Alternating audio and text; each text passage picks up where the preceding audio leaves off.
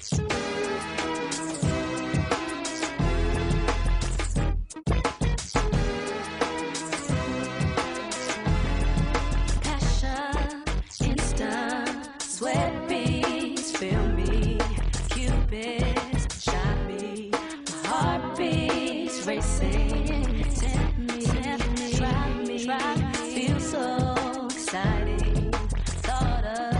You guys welcome back to my channel. It's your girl Nekka and I'm here to do a wig review guys and today I'm featuring a wig by Sensationnel and it's part and it's a part of the feather and flare collection and I have her in the name Jordan and the color is T1B slash 30 and this is how Jordan looks on the stock card and I believe this is a newer wig that recently came out. Now this is a lace front wig. There is lace to be cut and there is, it is the softer type of lace but you do not have to um, use adhesive to for it not to roll up on you throughout the day. The cap construction um, is your standard cap construction for a lace front wig. It's two combs in the front near this parting area over here, a comb in the back with adjustable straps my bigger size head girls, you may can get away with this one. Um, I feel like the cap is pretty big, so I think you can get away with this wig. Uh, as far as the color, this is a beautiful DR30. I have, I don't think I reviewed a DR30 or bought a DR30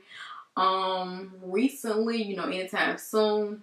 This was all the rage maybe a few years ago. I think this hair is dark rooted throughout. As you can see near the parting area, it's that 1B color. And then in the back, it is 1B. And it does feature baby hairs in the front and the back. So you can, um, I believe, pull this wig up into like a ponytail or something. Maybe a high ponytail. And you can have your baby hairs showing at the back. Um, so it does come with that option as well. The parting area, you can only wear this um, parting as you see I have. If you try to um, turned apart. It's just the wig is not going to look right if you would try to do that unless, of course, you know you're good at styling wigs and you're about that life and you can do that. But if not, if you're like me, then you know you got to wear the part as it's meant to be and as far as it's meant to be. That's the way you see it right now. Now, um, this bang is definitely um, a heavy bang.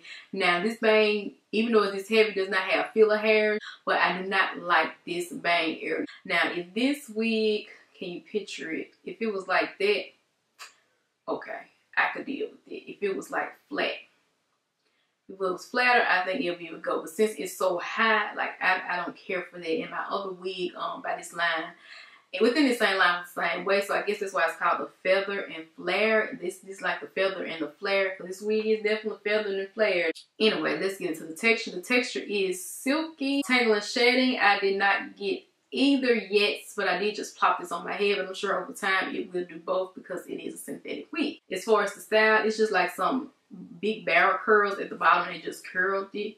This this what this wig really looks like. Um it's not as wavy. Like it's it's like wavy right here on the stock card, but it's not as wavy in real life it is on the stock card. But this wig is definitely not my favorite. It's not a wig you probably need to go out and run and get. But anyway, I'm going to do a 360 of, the wig, a close up on the parting and the length. And before I get into that, I almost forgot about the density. Now, this is all the hair pulled to the front. That's it. Um, it's not too thin and it's not too much because too much can look too wig and too thin you see tracks. You can't do either. I think it's a perfect density. I think you can get away with wearing this in the summer months um, for my girls. They like to wear longer hair all year round. But anyway, let's get back into that 360.